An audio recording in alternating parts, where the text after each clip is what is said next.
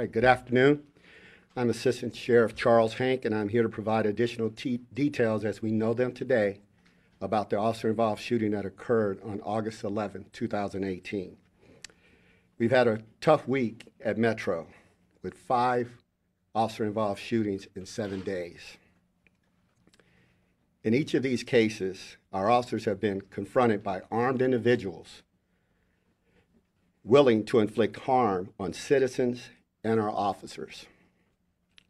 As Assistant Sheriff Zimmerman said yesterday, our officers' actions are dictated by the suspect's actions. Our investigation has revealed that the event we are discussing today is a case of isolated workplace violence.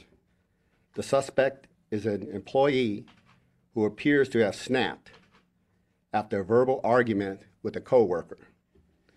In this incident, we're extremely lucky that no citizens or officers were injured. As you know, this occurred at a busy department store on Saturday, the weekend before the first day of school. The store and the entire strip mall were packed with people, and the suspect in this event showed absolutely no regard for the safety of anyone in the area. I believe our officer involved in this shooting acted courageously and with impressive accuracy based on the distance of the shots fired. I will now provide the details of the officer involved shooting. This is officer involved shooting number 15, non fatal number 7 for 2018. The same time last year, we were at officer involved shooting number 16, non fatal number 9. The date and time of the call is August 11th, 2018 at 4:15 p.m. The type of call is an assault battery with a gun. In this case, actually an active shooter event. The location of the officer involved shooting is 4000 Blue Diamond Road at the Ross Dress for Less. The time of the officer involved shooting, shots fired is approximately 4:19 p.m.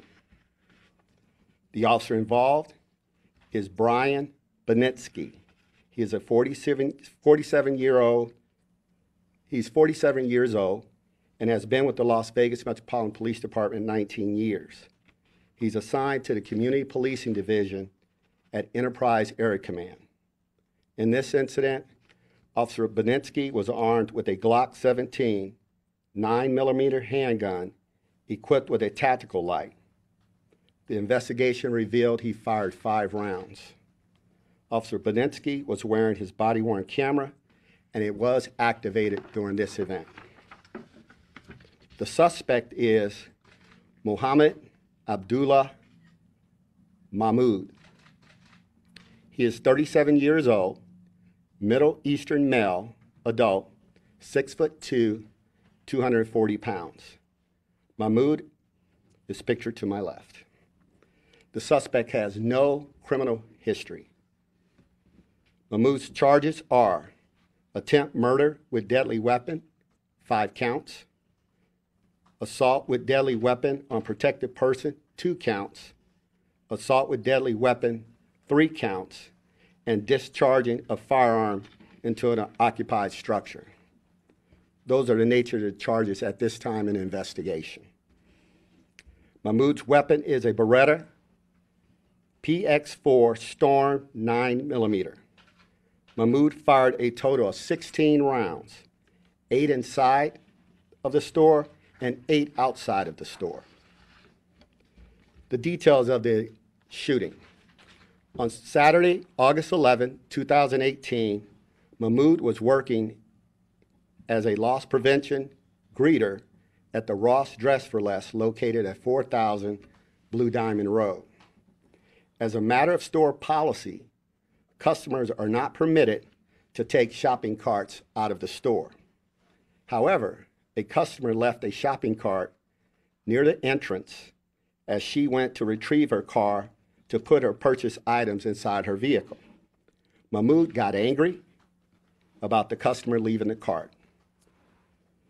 Over the employee radio system, a store manager told Mahmoud to stop complaining.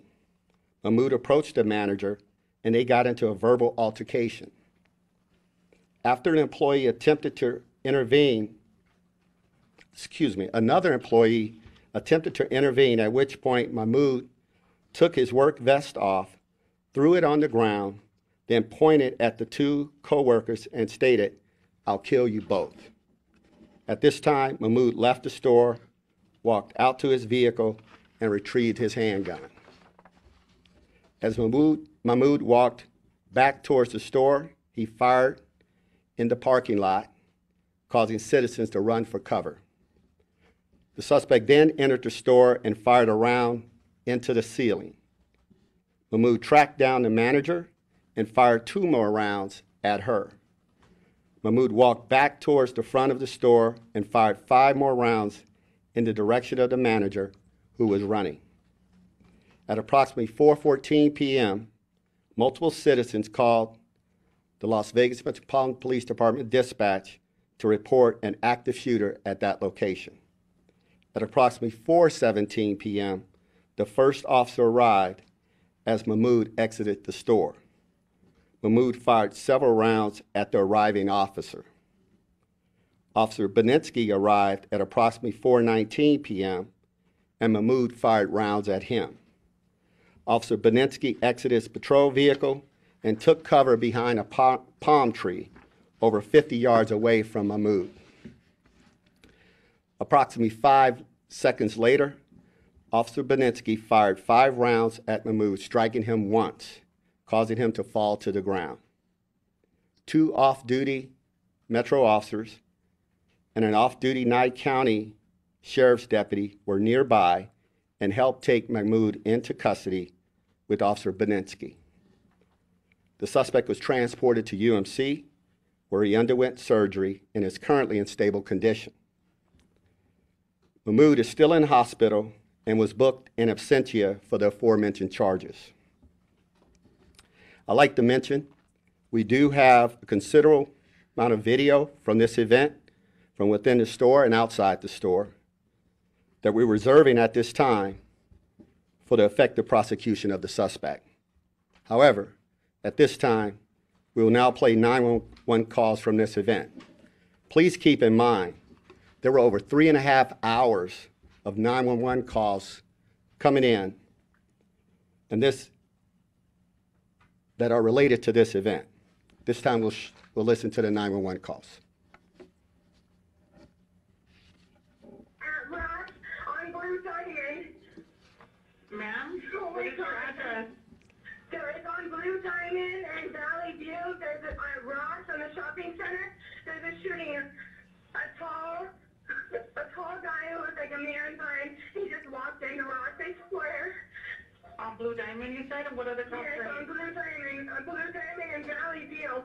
Where there's In-N-Out in here. There's Target in here. Ma'am, get in your car. Then where they're shooting at Ross. Get in your car. Get in your car. How long ago did this happen, ma'am? Like, like right now, like I just called you guys.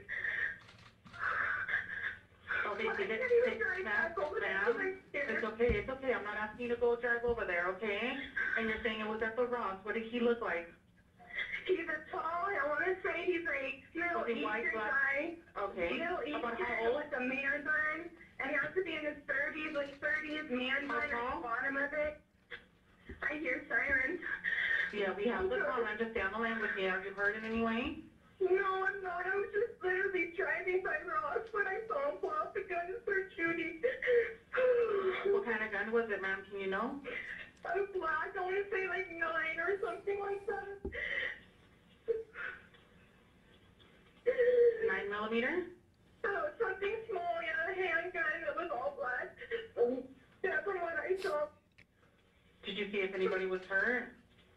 I just kept driving and these people, I'm like, oh, Okay, run, you're run, okay? you guys, run. Do you know if he was Yeah. drinking or doing any drugs? No, there's people still standing there. They need to get out of there. M- Ma'am, do you know if he was drinking or doing any drugs? I didn't see anything. He was just literally charging in for Ross. Call that number. Okay, so you're, you're leaving there, correct? No. Yeah, we've got many people calling, so thank you so much for giving us a call, ma'am. Okay. Thank you, bye-bye. Okay, we'll now, we'll now show you footage from Officer Benensky's body worn camera. Keep in mind, before we play this, immediately as he stops and exits his vehicle, the suspect opens fire on him. If you listen closely, you'll hear the two rounds being fired by the officer before he takes cover, as he takes cover and returns fire. Go ahead, Carlos. Is he out here shooting? Where's he at? Where's he at? here, but you see that, he's sitting down, he's sitting down under the rock.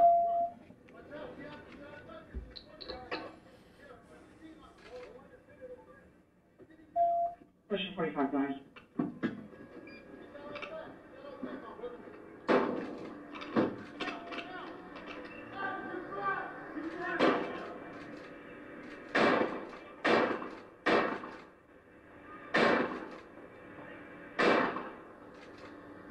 Motion forty-four, shots fired. Suspect's down in front of Ross, low medical.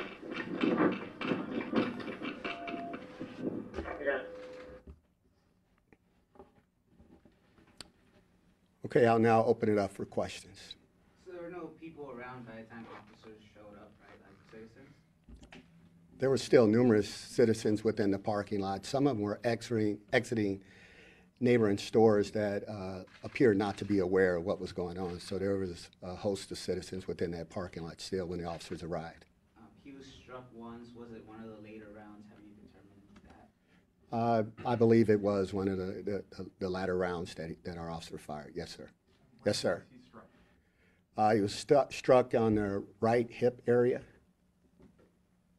And I know there was a lot of chaos in that plaza that day with people, a lot of people, like you said, shopping for back to school. Tell me what the process was, was like for Metro in terms of getting people to safety and getting some people evacuated and locking down other stores. Uh, yeah, our, our officers did a great job with that. They, they actually gathered up uh, the witnesses, ensured people were safe. Uh, we, we notified uh, folks in the area to, uh, as you just stated, lock down those stores to, to stay within the store. Uh, once we had ensured that everyone was safe, the suspect was in custody. Uh, we then gathered up those witnesses. We pulled in additional resources from other area commands to assist in gathering and processing those witnesses. We also had our emergency management team come out and provide water and, and ice and things like that. Did you say he fired, uh, rounds when he was, before he went in, was it outside to like the sky or anywhere in particular? I'm not exactly sure where they were fired, sir, but he did fire, there, there are reports and evidence that he fired outside. So was he fired, or were they just arguing because somebody challenged his authority? He, they engaged in an argument uh, in relationship, as I stated, regarding the uh, placement of shopping cart. Uh, It appeared he didn't want that lady to leave it there. Uh, The manager uh, basically admonished him over the radio system. Uh, She then came up, they engaged in an argument. He went outside, retrieved his handgun, came back in, shot, went in the store, and basically went after her and uh, shot at her as well as shot within the store several times. Yes, sir. Approximately how many videos of this incident do you have? I don't have an exact count right now, sir. I, I know there's at least two or three others. How long had he worked at the store? I do not know that at this time. Do you know if they'd ever had any problems with him before? What we've been told, there, there had been no other problems that we are aware of. Do you believe? Was there another, sir? Uh, it's hard to tell on that tape, um, how far back is your officer to that individual? I mean, it's hard to tell because of the lighting on the lens, but can you give some distance at all by chance? It's approximately 53 yards.